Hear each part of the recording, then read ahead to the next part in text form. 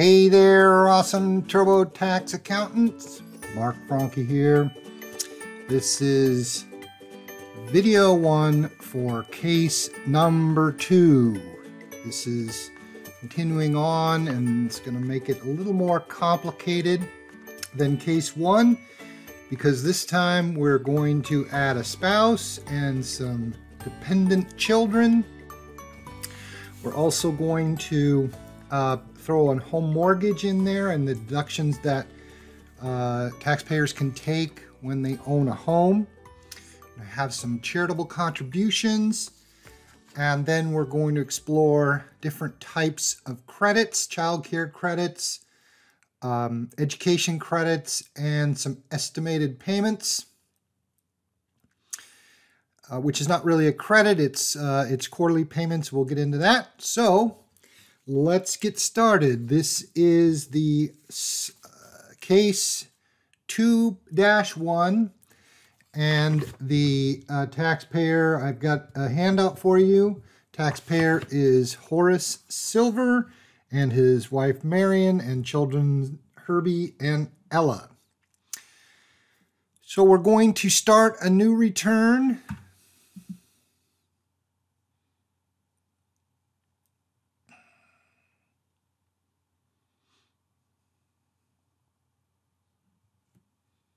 Which is taking a while. And we're going to continue without transferring.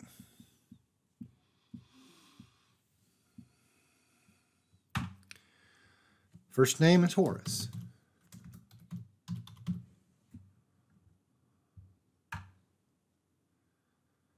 Occupation, manager. No U.S. Armed Services And the zip code is 90803.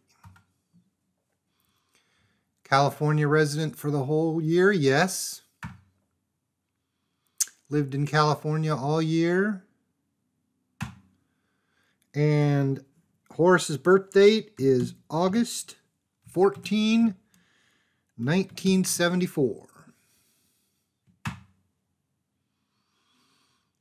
No one can complain can claim me as a dependent and none of the above.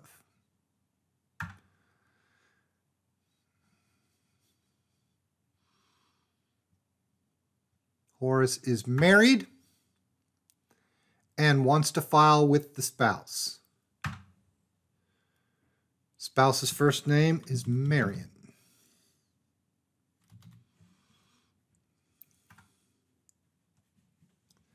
And Marion is a teacher and did not serve in the armed forces.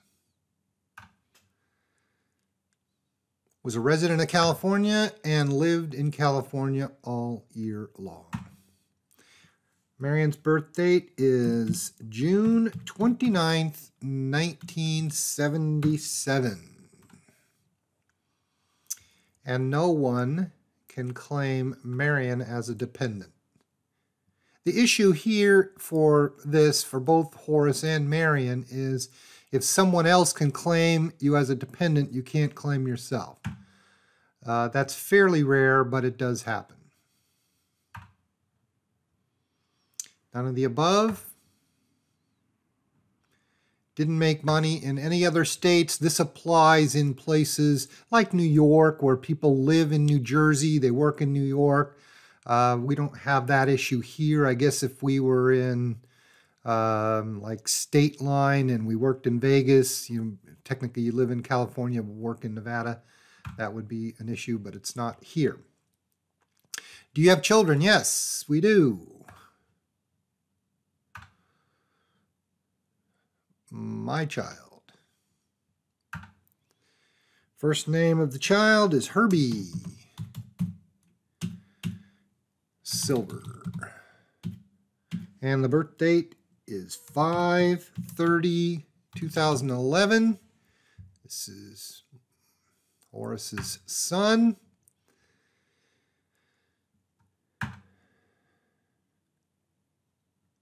And Herbie lived with, with Horace the whole year long. He is not disabled and did not pass away. And these uh, Horace, both Horace and Marion, are the legal parents. And no, Herbie did not pay for more than half of his living expenses, as most children don't. And um, no. By the way, anytime you get something and I haven't specifically said, just answer no. Okay, we got another dependent. This one is Horace's child, and this is Ella Silver. And Ella's birth date is 11 20 13. Ella is the daughter, and none of the above.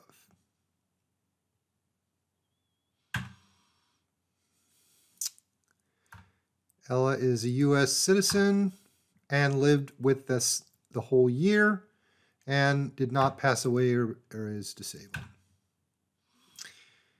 And Ella also is Horace and Marion's child.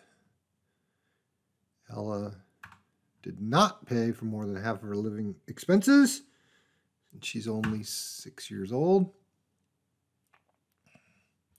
And no, another relative didn't live in the home and help support her. Okay, so we've got uh, the two dependents in, and we're done with that part. So we are going to be filing married filing jointly, which is correct. Married filing separately is a very high tax uh, bracket to be in, so most people would be better off married filing jointly. And so I'm going to pause the video and put in this information.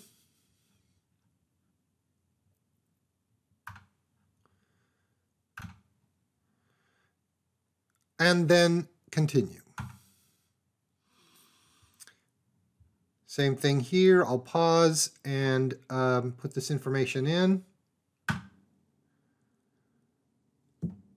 By the magic, there it is. And we'll press continue. And then we have social security numbers for all four. Again, I will uh, put this in. Okay, so I've got the social security numbers in. So we'll go continue. It's going to give us a summary. Check the information, make sure it's all okay with the handout, and then continue. Continue. And we've got um, W-2s for both Horace and Marion. So we'll work on Horace's first. And this is uh, similar to what we did in case one. So I'll pause the video, put Horace's in, and then be, be back in a Okay, so I have input Horace's W-2 information. And this is the screen where I did it. Put in his employer information. I put in the wage information. And then the state tax is down below. Don't forget to check the box that says retirement plan. And then continue. None of the above. And we have another W2 to enter, so I'll say yes. And this time we're going to put in Marion's W2.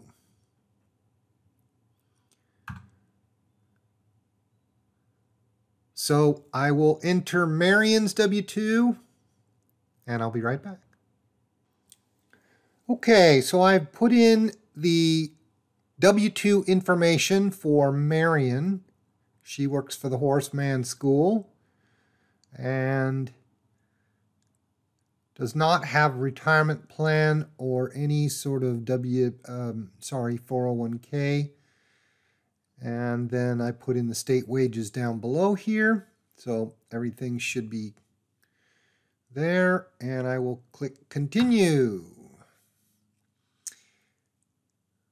Confirm the amounts match 45, 544, 32 and 1465, 32. That's confirmed. None of the above.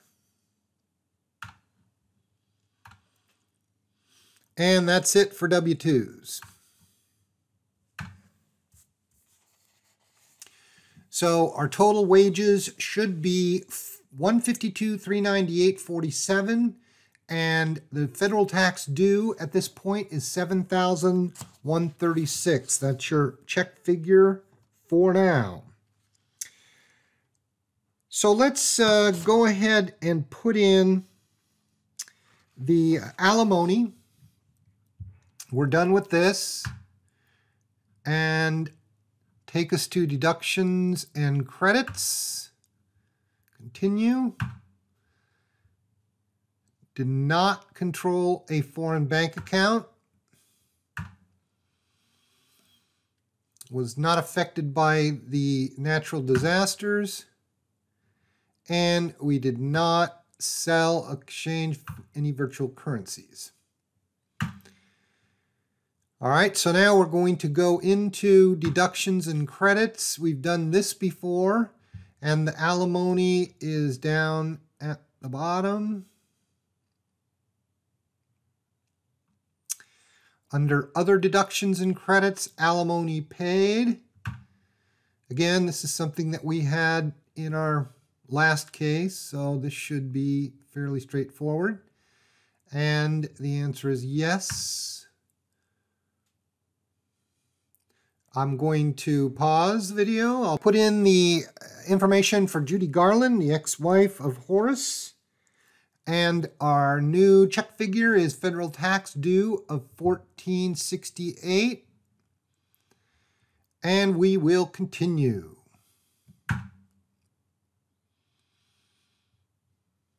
Done. Continue. And then we will go back and go to wages and income I'll choose what I work on and we'll go down and we'll put in the business income, which is on the top. Uh, oh, I'm sorry, it's um, on page two towards the bottom. This is a craft business that Marion has. So if we go down to Business income, we've got the Schedule C. Again, very, very similar to what we did in case one. So this is just more practice. We'll start that. Did you have income expenses for a business? Yes. And we'll continue in TurboTax Deluxe. The business is a craft. Uh, we'll just call it crafts. Uh, use my name as the name of the business and my business address. No employer ID. The business code is 454930. Cash method.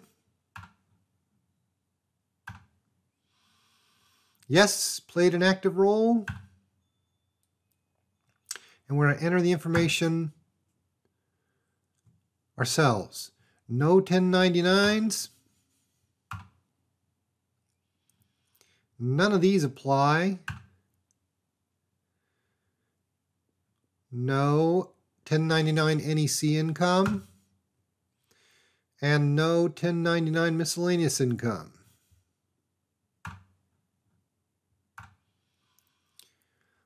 Okay, so I'm going to pause the video. I'm going to put this information in. And uh, again, same, same process that we did in, in case number one. And I'll be right back. Okay, so I have input all the income, the purchases, and the change in inventory, the beginning and ending balance of inventory. And I've also added uh, these expenses here, business expenses. Again, same process we did in case number one. So now I'm going to click continue. There's no long-term care insurance. And there's no business expenses not yet reported. And none of these things apply to our craft business. And now we are done. Is this qualified business income? Yes. None of these things apply.